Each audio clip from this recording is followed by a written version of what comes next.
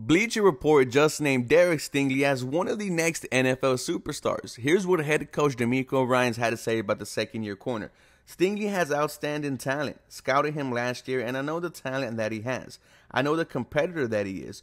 Going to put him in position to make a lot of plays for us, put him in a position where he can excel and showcase his talents. We are so excited to see what Derek Stingley brings in year two for the Texans. He is going to show why he was the first corner taken off the board in last year's draft. For more Houston, Texas content, feel free to follow me for more. Go Texans. Have a very blessed day.